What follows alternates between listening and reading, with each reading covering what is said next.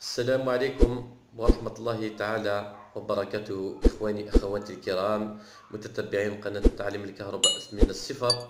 في حلقتنا اليوم إن شاء الله سوف أحول شرح كيفية تحمي الأشخاص من التكهرب سواء كبارا أو صغارا. يتعارض أحيانا بعض الأشخاص في المنازل أو في الفنادق أو في كل الأماكن كل سوا هذه البلاصة. إلى مخدرات إلى مخاطرات عفوا إلى مخاطرات الصدمة الكهربائية أو مما يسمى التكهرب. من جرأ ملامسة سلكا ناقلا للتيار الكهربائي أو جهاز كهربائي حصل خلل في عزلية أسلاكه ونتيجة لذلك يمر تيار كهربائي في جسم الإنسان. تتوقف خطورته على شدة هذا التيار وشدته تعتمد على كل من الجهد آه، وعفوا آه، من الجهد المستخدم ومقاومة الجسم. فعندما يكون الجسم معزولا عن الأرض تماما فإن المقاومة تكون كبيرة جدا وبالتالي فإنه لا يمر أي تيار عبر جسمه. أما إذا كان الجسم ملامسا للأرض مباشرة فإن المقاومة تكون صغيرة.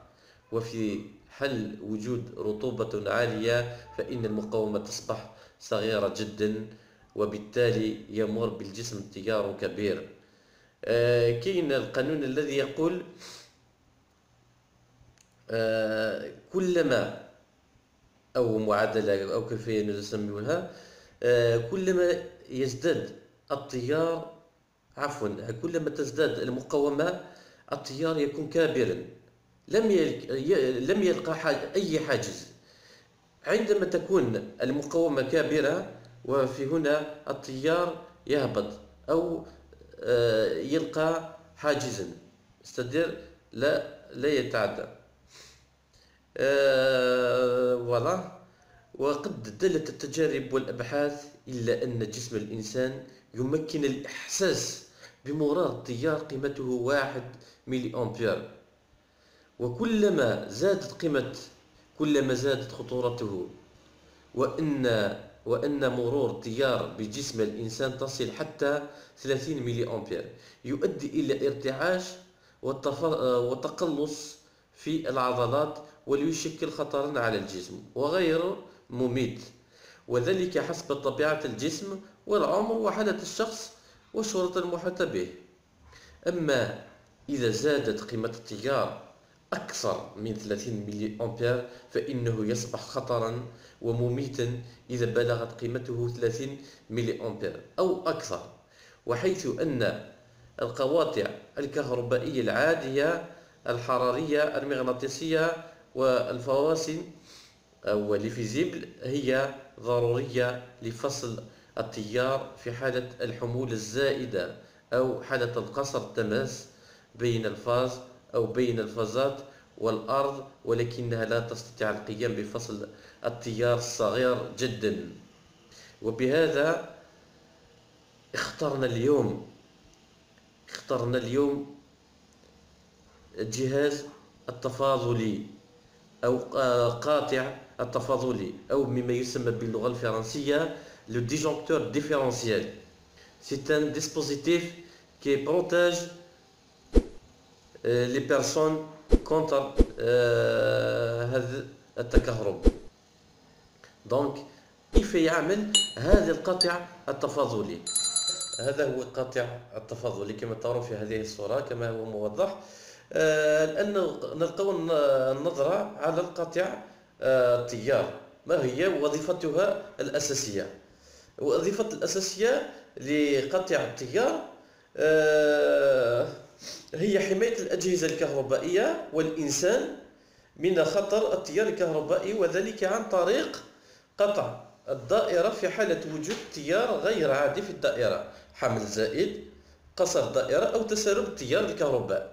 وللاكتشاف التغيير الموجود في الكهرباء والذي يمثل خطرا على المحيط يستعمل قاطع الكهرباء ثلاثة تقنيات مختلفة وقد نجد كل هذه التقنيات أو قد نجد بعضها أو أحدها في قطع واحد. هذا مرتبط بنوع القطيعة كما سنرى في هذا الدرس إن شاء الله. تقنية القطيعة الثلاثة الموجودة داخل الكهرباء آه، داخل قطيعة تيار الكهرباء. يوجد ثلاثة أنواع.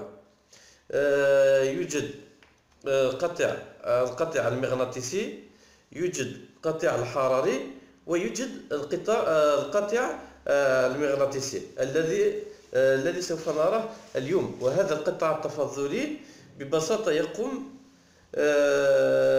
هذا يحمي الإنسان من تسرب التيار الكهرباء أو تكهرب الإنسان. في هذه الحالة ينقطع التيار في حالة التلامس.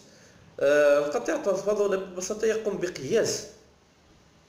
أستنى نرى الصور. شوفوا في حالته العادية مثلا هنا كما ترون في هذه الصورة. آه، عندنا voilà هذا هو.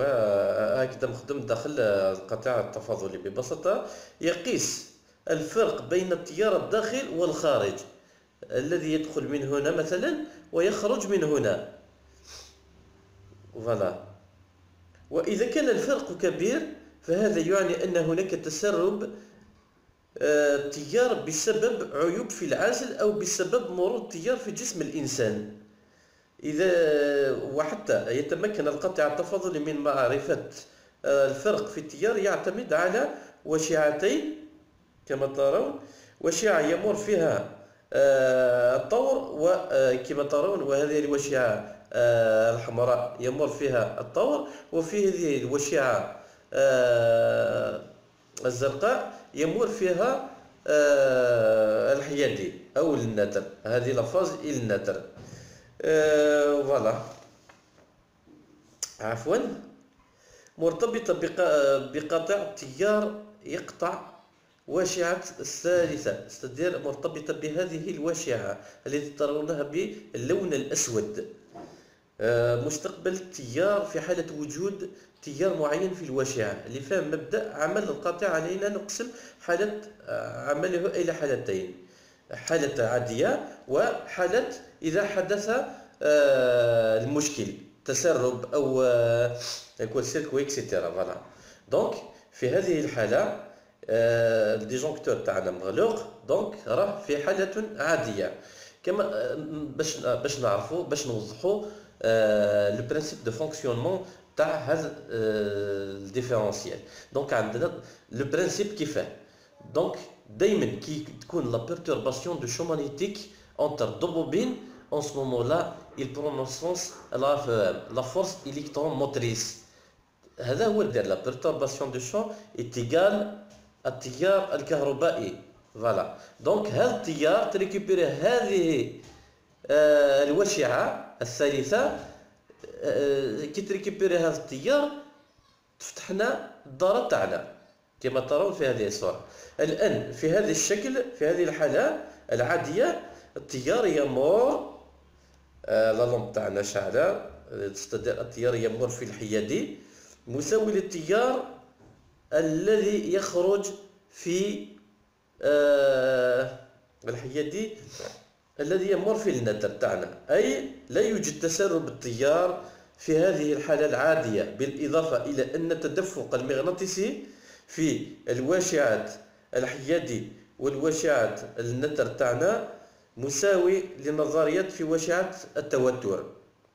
أو وهذا يعني أن التدفق المغناطيسي في الواشعة الثالثة المستقبلي يساوي الصفر لأننا ما كانش لا بيرتورباسيون دو شو في هذه الحالة آه، ما كانش لا رياكسيون آه، ما كانش الشومانيتيك باش ترياجي هاد لابوبين السوداء باش تفتح لنا السيركوي تاعنا. دونك لا لامب توجور شاعله لو كورون آه، أو التيار الكهربائي الذي يمر من الحيادي يساوي التيار الذي يخرج في الناتل. بالتالي فإن التيار الداخلي يساوي الصفر وبالتالي الذي يفتح القاطع في حالة تسرب آه، في حالة تسرب التيار مثلا هنا مثلا طفل آه، في يده مسمار دخله في آه، آه، في la prise de courant.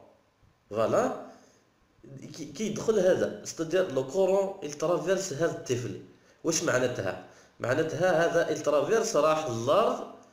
هذا كي يجي في هذا الطور يروح للأرض صافي دير هذا الكورون راح منا وراح للأرض. ما ترافيرسيش منا دونك اون اوبتيان أو بيرتورباسيون دو شو في هذه الحالة يكون لا بيرتورباسيون دونك البرون نيسونس على في ام ستادير يخلق التيار وهذا التيار تريكوبيري هذا لابوبين هذا لابوبين تفتح لنا هذا الدار تاعنا كما راه موضح في هذه الصورة. يكون هناك فرق في التيار الموجود في وشعة الفاز وفي وشعة النتر وبالتالي سيتكون تدفق مغناطيسي في الوشعة المستقبلة أو في هذه الوشعات السوداء. والنتيجة لهذا التغيير في التدفق المغناطيسي وبالتالي آه الوشعة الأسود سيتكون تيار داخل الوشعة الثالثة ستفتح القاطع وبهذا c'est-à-dire نكونوا protégés. c'est-à-dire ي disjoncter ال disjoncteur الطفل تاعنا ما على بالوش واش يدير؟ يدير المسمار ويترافيرسيه الكورون والديجونكتور تاعنا. c'est pour ça نقول لكم ال disjoncteur différentiel surtout في الدار. surtout في الدار c'est très très très important أنا ننصحكم به. إذا عندكم آه القطع العادي القطع الحراري أو القطع المغناطيسي أو غيرها نطلب منكم أو اشتروا هذا لكي آه تكونوا محميين في التكهرب أولادكم أو أنتم إلى اخره آه إلى هذا لقد وصلنا إلى نهاية هذا الدرس. إن شاء الله في الدروس المقبله إن شاء الله نتمنى أن تستفيدوا. إذا لديكم أي سؤال أنا في الخدمة.